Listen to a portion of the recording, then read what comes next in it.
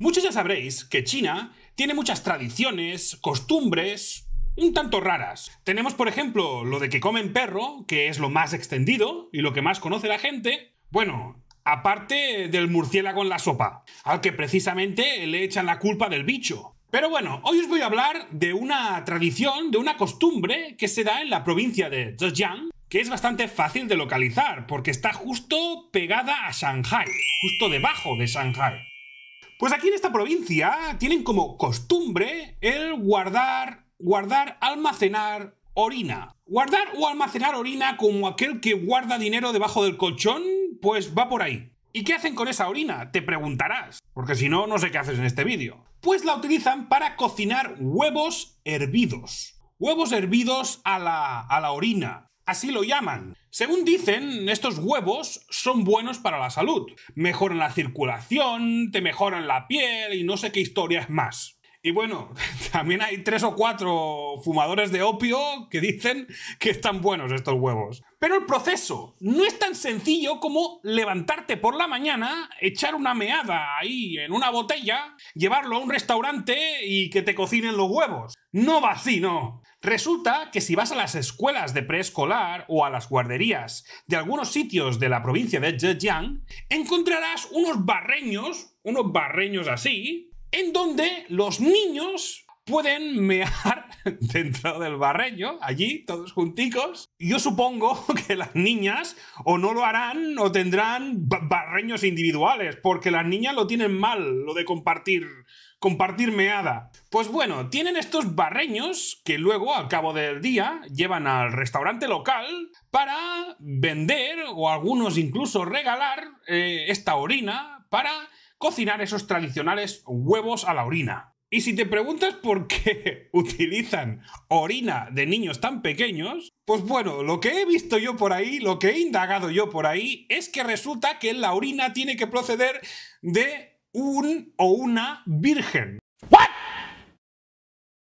What the fuck? Lo sé.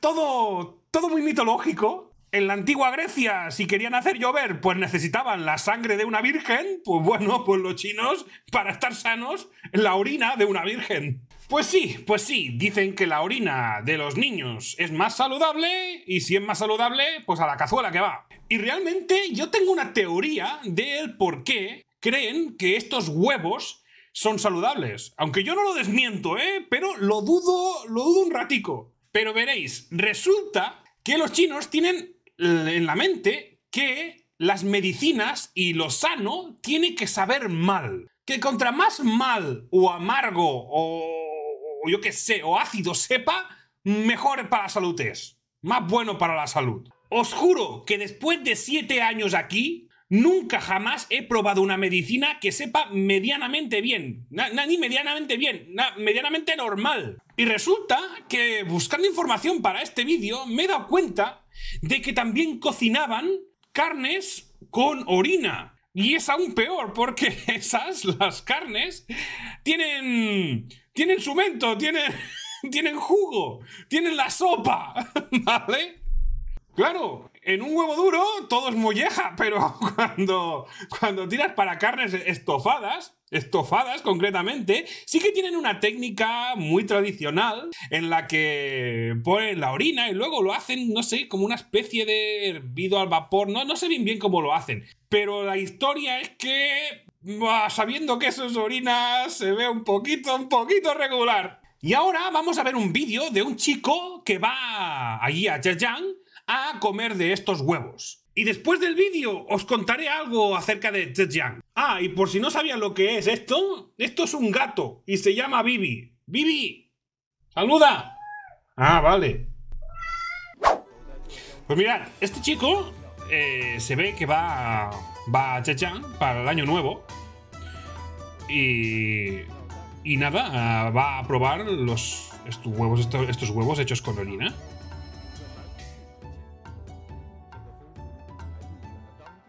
Esto y, esto, si no, te, si no te lo dicen, yo, yo, no, pensaría que es orina, ¿eh?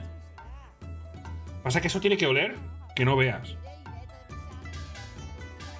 Sí, eh, es muy típico. Los, los viejos estos que te vayan diciendo, sí, sí, esto, esto, esto es pura crema, esto buenísimo, buenísimo para la salud. Y están riquísimos. Y esto es lo que os decía de las escuelas. Tal como os decía. Barreños en las escuelas. Eso de hecho es una escuela. Una escuela preescolar creo que es. Cogen la orina y ala. Al restaurante.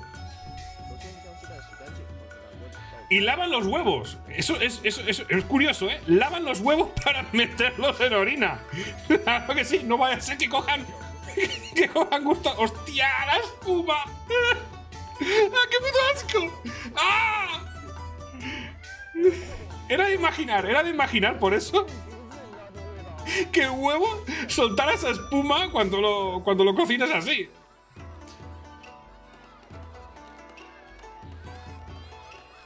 Los está rompiendo aquí. Los está rompiendo porque creo que aún no están hechos. Porque esto lleva muchísimo rato.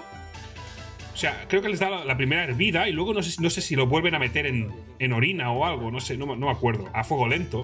Es 10 eh, horas. 10 horas cocinando en orina. Sí.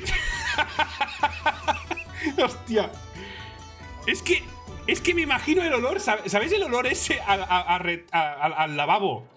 al lavabo que no han lavado, eh, que, han pasado 50 personas o más meando todos juntos. Ese olor tan potente. Es que me imagino ese olor.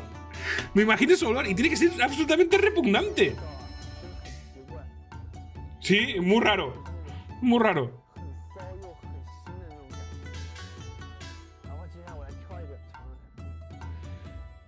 Sí, sí, va a probar uno. Pues venga, va, que aproveche. ¡Hostia, mirad el color! ¡Mira qué color tiene!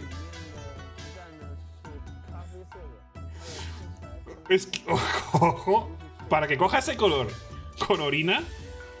Ojito, eh.